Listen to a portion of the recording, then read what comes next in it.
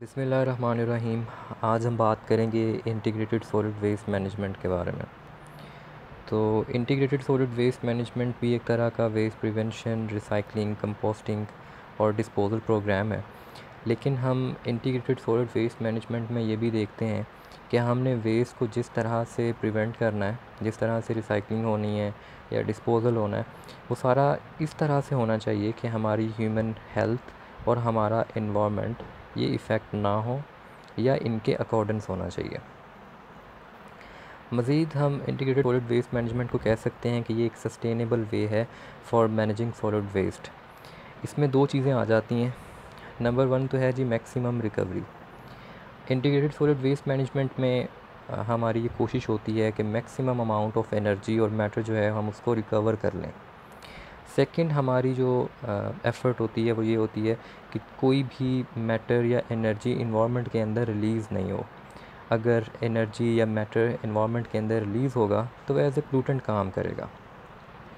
मज़ीद हम integrated solid waste management में लोकल कंडीशंस को देखते हैं कि जिस एरिए की हम इंटीग्रेटेड सॉलिड वेस्ट मैनेजमेंट करना चाहते हैं, हम देखते हैं कि वहाँ का इन्वामेंट किस तरह से है, हम किस तरह से प्रिवेंट कर सकते हैं, कौन सा प्रोग्राम हम यहाँ पे अप्लाई कर सकते हैं या नंबर ऑफ़ टेक्निक्स यूज़ कर सकते हैं कॉम्बिनेशन के अंदर जो उस इलाके के लिए, जो उस उस एरिए के लिए फ़िट बैठती हों। तो इंटीग्रेटेड सॉलिड वेस्ट मैनेजमेंट के अंदर जो चीज़ें एडिड हैं, उनमें reduction reuse recycle resource recovery और लैंडफिल इनको हम देखते हैं कि ये किस किस तरह से अप्लाई होती हैं। तो फ़र्स्ट ऑफ़ ऑल हम देखते हैं जी रिडक्शन रिडक्शन क्या है कि हम सोर्स के ऊपर ही वेस्ट की जनरेशन को कम कर दें। ठीक है? चाहे वो कोई आ, हमारे पास रेजिडेंशियल एरियाज़ हैं कमर्शियल एरियाज़ हैं तो हम कोशिश करें कि हमने वेस्ट रिड्यूस करना है उसकी जनरेशन रेट को रिड्यूस करना है। चाहे वो पैकेजिंग में हो प्रोसेसिंग में हो डिज़ाइनिंग में हो, या हमने उसको लेस टॉक्सिक बनाना हो तो ये सारी चीज़ें रिडक्शन में आ जाती हैं। दूसरी चीज़ है कि हम जो भी चीज़ें हम एज ए वेस्ट उनको डंप करने की कोशिश कर रहे हैं या फेंक रहे हैं, हम देख लें कि क्या ये दोबारा यूज़ हो सकती हैं। अगर तो दोबारा यूज़ हो सकती हैं तो उनको दोबारा यूज़ करना चाहिए। फॉर एग्ज़ाम्पल जो कॉफ़ी कैंस हैं, उनको हम बॉल्ट या स्क्रू वगैरह रखने के लिए यूज़ कर सकते हैं। उसके साथ जो पॉलीथीन बैग्स हैं, उसको वेस्ट डंप करने के लिए यूज़ किया जा सकता है। थर्ड पे जो चीज़ है, वो है रिसाइकलिंग रिसाइकलिंग में हम तीन चीज़ें देखते हैं। एक तो हमारी कोशिश ये होती है कि जो भी हम वेस्ट के अंदर से चीज़ें देख रहे हैं, जिनको हम सेपरेट करेंगे, वो सारी चीज़ें जो रिसाइकल हो सकती हैं। दूसरी दूसरा हम ये देखेंगे उसके अंदर की जो चीज़ें सेपरेट हमने की हैं, उनकी रीप्रोसेसिंग होगी। रीप्रोसेसिंग किस तरह से होगी? उनकी रीमॉडलिंग किस तरह से होगी? और थर्ड पे हम उन चीज़ों को यूटिलाइज़ करते हैं।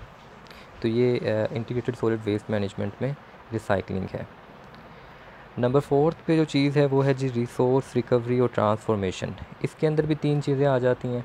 इसके अंदर हम वेस्ट को आल्टर करते हैं, उसकी फ़िज़िकल केमिकल और बायोलॉजिकल नेचर इसकी वजह से क्या होगा कि जो वेस्ट है उसका वॉल्यूम रिड्यूस हो जाएगा. तो वॉल्यूम रिड्यूस हो जाएगा तो ज़ाहिर बात है हमारी लैंडफिल साइट के ऊपर कम बोझ पड़ेगा.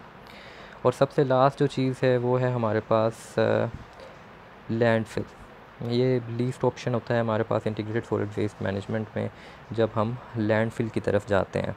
स्पेशल पर्पस के लिए हमने लैंडफिल्स बनाई हुई होती हैं. अब हम U S E P A की अगर बात करें तो उसने हमें एक हरारकी बना के दी है इंटीग्रेटेड सॉलिड वेस्ट मैनेजमेंट की, जो कुछ इस तरह से है। अब इसमें क्या है? सबसे पहले ये आप इसको एक फॉर्म में देख रहे होंगे कि ये